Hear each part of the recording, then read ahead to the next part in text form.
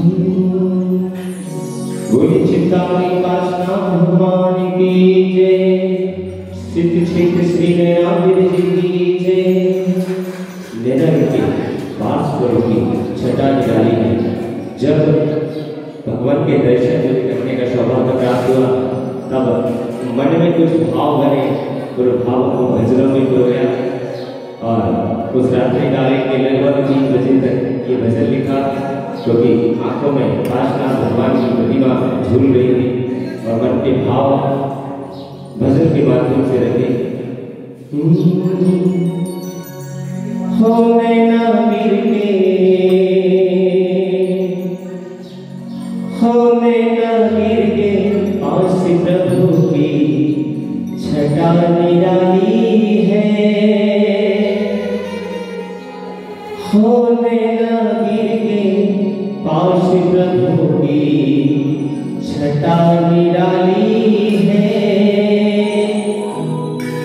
सदा प्रभु जी भक्तों की